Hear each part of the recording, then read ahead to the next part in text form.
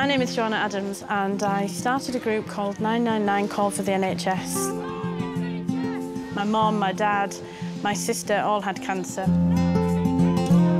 My son was born via IVF, so for me, the Health and Social Care Act was removing the opportunity for others in the future to have the care and the help that I've received.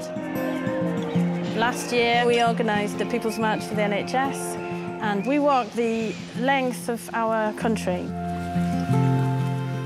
The passion that people had for helping, the passion for taking part was amazing. We were walking along, I don't know which road it was, the middle of nowhere, and a bus drove past. And a man jumped off the bus and joined us and marched for three days.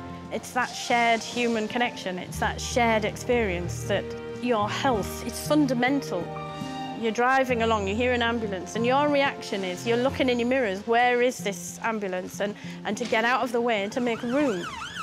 It's not because you have to, it's because you know that you need to. We as a society, we respond to that other person's need. That's what the NHS is. And that human instinct, that response, it's why it was founded. It's why it matters, because people in need, they deserve priority and, and we need to protect that. It's, it's, we lose our humanity if we lose that instinct. We set off from Edmonton in the morning and there was a small group of us, the 300 milers and the organisers and things.